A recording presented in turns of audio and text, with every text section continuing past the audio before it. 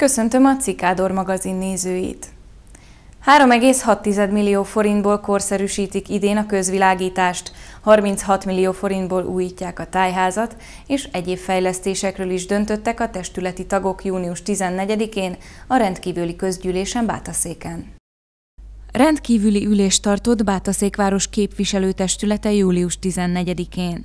14 napi rendi pontban tárgyalták meg a várost érintő főbb feladatokat. A nyári szünet előtt reményeink szerint utoljára e, ült össze a képviselőtestet egy rendkívüli ülés keretében, ahol jó néhány kérdésben kellett állás foglalni. Így döntött arról a képviselőtestet, hogy a város közvilágításának korszerűsítése érdekében egyrészt megkezdi a lámpatesteknek a cseréjét. Sajnos abban az állapotba kerültek már lámpatestek, hogy nem tudnak üzemszerűen biztonságosan működni, mint egy 3,6 millió forintos keretösszegig idén is megkezdődnek majd a felújítási munkák, illetve elhelyezünk egy új kandelábert a Petőfi Sándor Művelődési Ház elé, annak érdekében, hogy a biztonságos beközlekedést tudjuk majd biztosítani magába az intézménybe. Pályázatok benyújtására is döntött a képviselőtestület, így a mai nap folyamán benyújtásra kerül majd a tájház felújítására vonatkozó pályázatunk, mint egy 36 millió forint keretösszeg erejéig próbálunk majd forrás szerezni. Ebben a 36 millió forintban durván 16 millió forint az önkormányzat önereje, 20 millió forint pályázati forrásra próbálunk majd reményeink szerint pozitívan pályázni. Pályázatot nyújtunk be közművelési érdekeltségnövelő támogatás elnyerésére, melyből szeretnénk a Petőfi Sándor művelődési ház feltételeit egy kicsit javítani, amennyiben sikeresen tudunk a pályázaton végezni. Néhány rendelet is elfogadásra került az ülésem. Talán a legfontosabb, hogy elfogadta a város az új helyi építési szabályzatot. Így két és fél éves előkészítő folyamat végére értünk ezzel. Így augusztus 15-től már új szabályok szerint lehet Bátaszéken építkezni, hozzányúlni az épületekhez, illetve elfogadtuk ezzel kapcsolatban a település rendezési e, terveket is, amelyek az elkövetkező időszakra meghatározzák a város fejlődési irányát. E, bizonyos területeken gondolok én itt a horgásztó környékére, vagy az ipari park környékére, tehát több olyan területre, ami fontos a város fejlődése szempontjából. A közvilágítás korszerűsítéssel kapcsolatos feladatokat a város saját forrásból finanszírozza majd, hiszen erre most nincs pályázati lehetőség.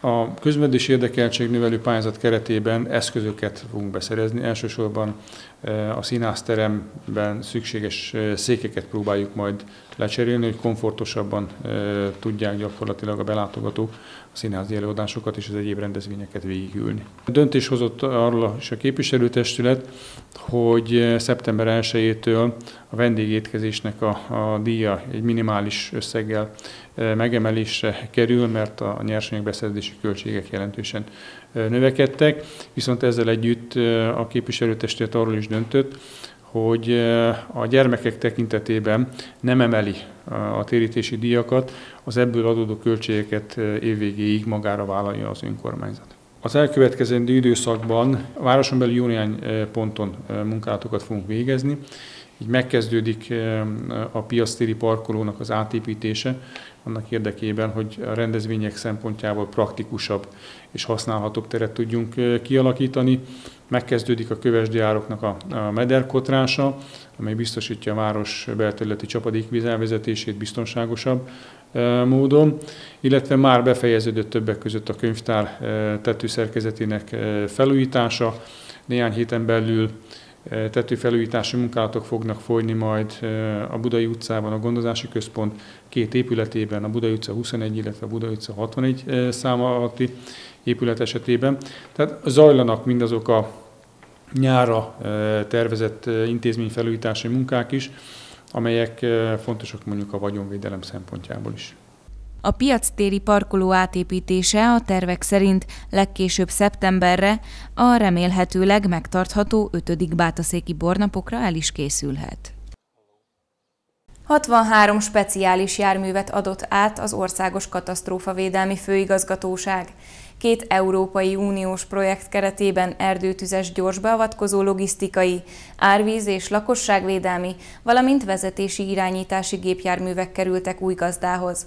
A gépkocsi parkból egy jármű Bátaszéken teljesít majd szolgálatot.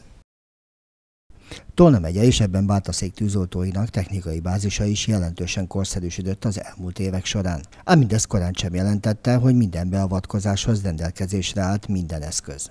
Különösen igaz ez azokban az esetekben, amikor szurdikokban vagy más speciális környezetben kellett megoldani a feladatokat. A város koncepciója szerint folytatja a megkezdett korszerűsítést.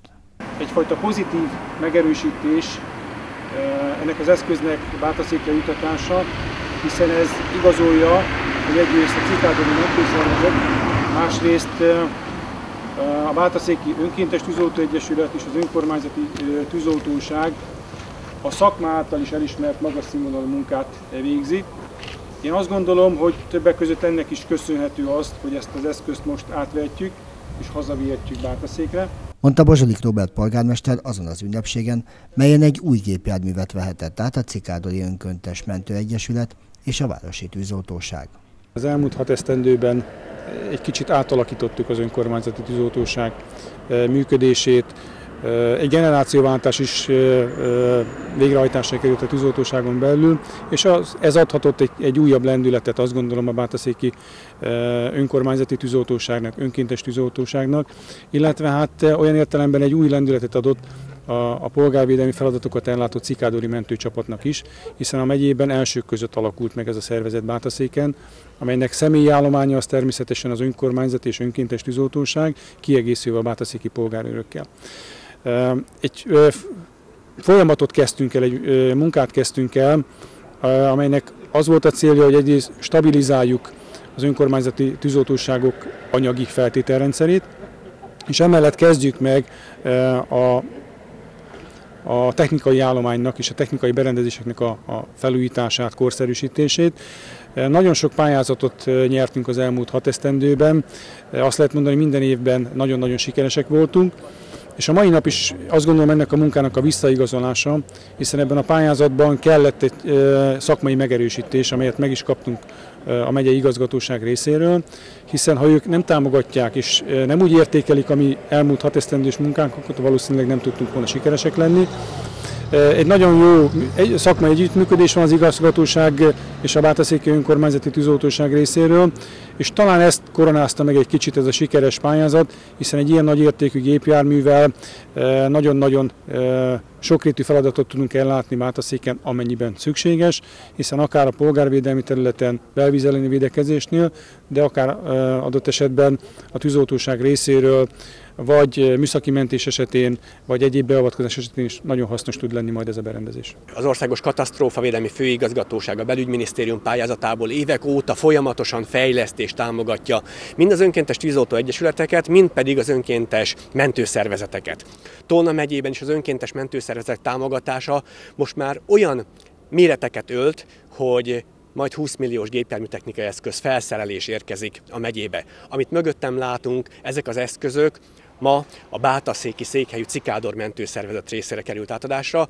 Ez egy Volkswagen Amarok hivatalosan logisztikai gépjármű. Azt jelenti, hogy a KEHOP polgári védelmi mechanizmusának projektjéből valósult meg, és alapvetően ár- és belvízvédekezési, a, a helyszíni káresemények felszámolási feladatai támogató eszköz, amelyben ugyancsak informatikai eszközök, távközlési eszközök és olyan e, málha egységek vannak, amelyek a, a, a kint helyszínen dolgozó dolgozó kárfelszámoló előtt támogatását és összekötetését hivatottak biztosítani. A Bátaszéki Tűzoltóság idén ünnepli fennállásának 150. évfordulóját, így a szervezet egyfajta ajándékként is tekint a most kapott autóra.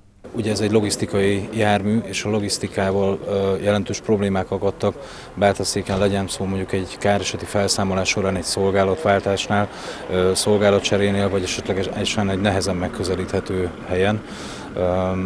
És minden, mindenféleképpen nagyon nagy segítségre lesz ez a gépjármű mind technikai tudásában, mind felszereltségében abban, hogy akár egy nehezen megközelíthető kárhelyre a, a kollégák ne gyalogosan közelítsék meg, amit van egy korszerű autó, és nehéz is egyébként erre szavakat találni.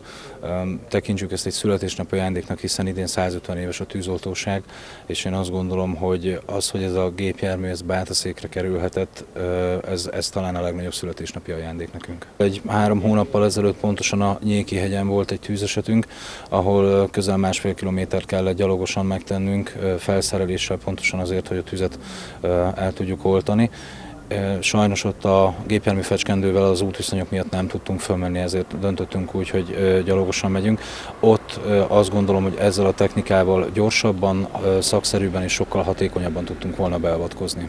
Ha most kérhetnék még valamit a 150. évfordulóra ajándékként a technikai fejlesztéshez, akkor még egy ilyen autót kérnék, mondta Bóta Gyula. Gyermekkora óta része az életének, és 2011-től van saját műhelye is. Nagyon színes stílusa miatt már sokan megismerik a munkáját. Hermes Anikó keramikussal beszélgettünk. Színkavalkát fogadott minket Hermes Anikó keramikus műhelyében Bátaszéken. Hobbiként indult, de megélhetésé alakult az agyag és a kreativitás kettősége, az alkotás szeretete az életében.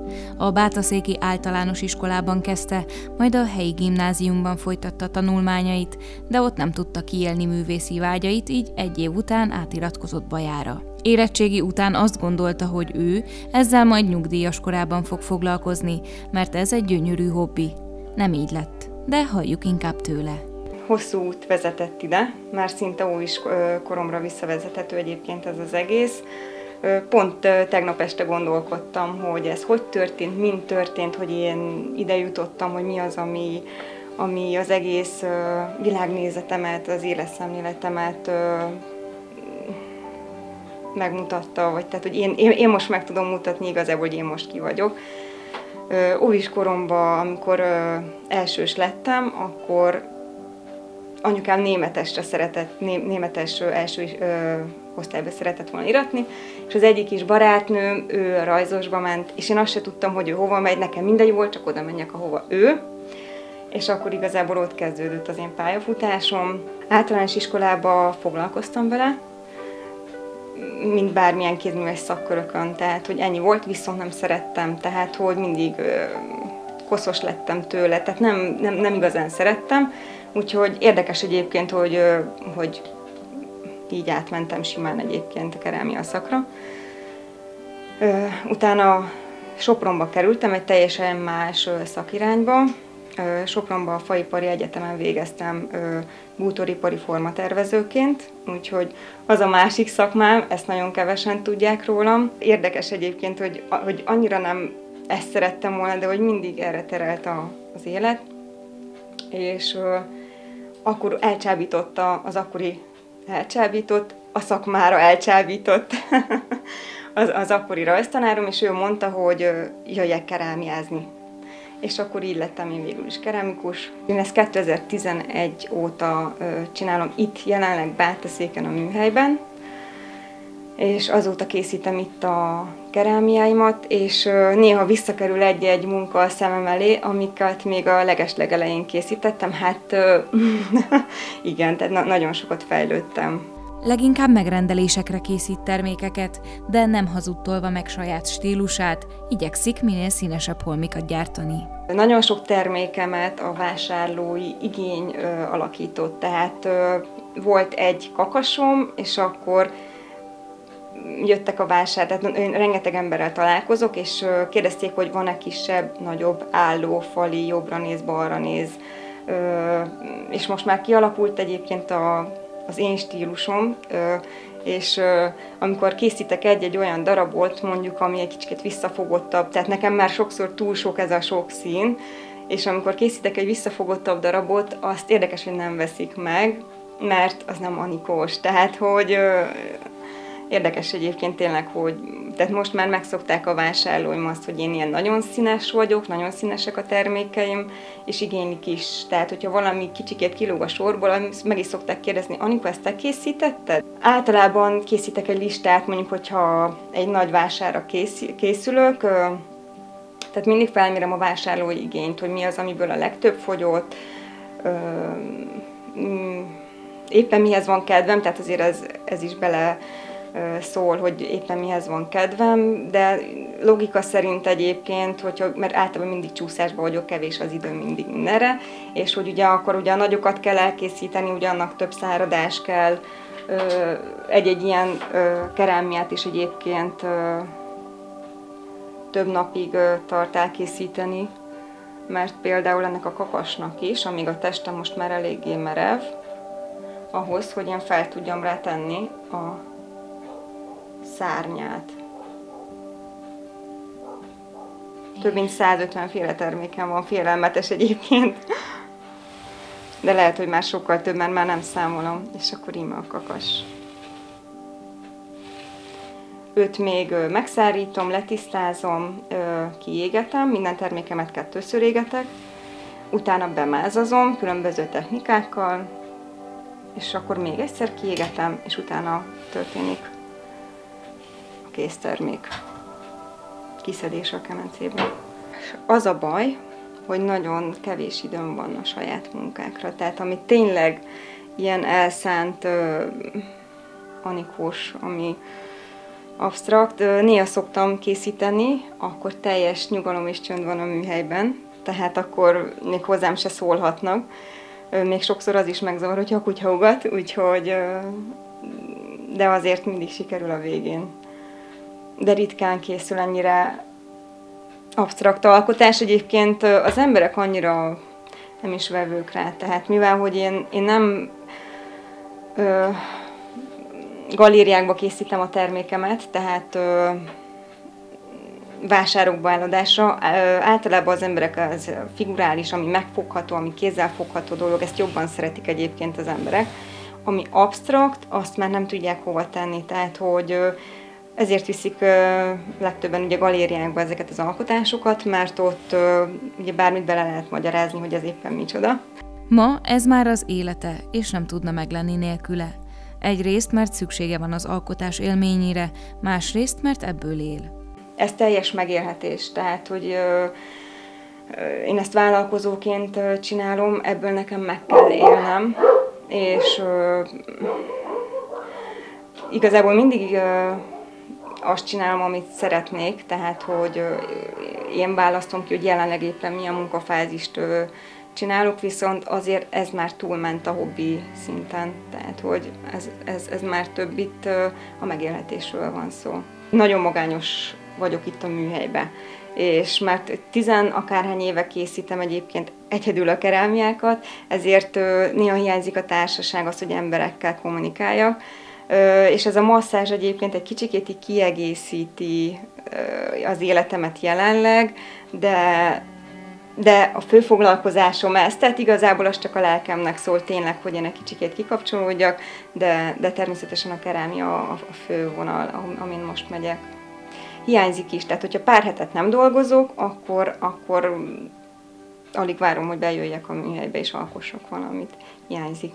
Nagyon sokszor visszamondom a, kiállításokat, mert nem érek rá, nincs időm rá, vagy vására készülök, de át kellene értékelnem ezeket a dolgokat, mert tudom azt, hogy fontos az, hogy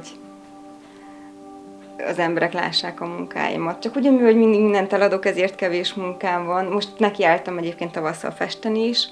Nagyon sok festményem is született most a tavasszal, és azokat is mind hála Istennek eladtam még tavasszal. Nem hiába vagyok az, aki, mert nagyon sokat szenvedtem is egyébként, tehát hogy sok megpróbáltatáson keresztül mentem át az élet során, de, de itt vagyok és csinálom. Nekem a vásárlók egyébként a, a zsűri tagjai, vagy a zsűri, zsűri mert ők folyamatosan visszajelzést adnak, és amikor ott állnak akár fél órán keresztül, és beszélgetünk egy-egy kerámiáról, és dicsérnek engem, az nekem sokszor többet ér, mint egy kitüntetés, egy díj. Jótékonysági futballmérkőzést szervezett Ács Katrináért a Bátaszéki Sportegyesület.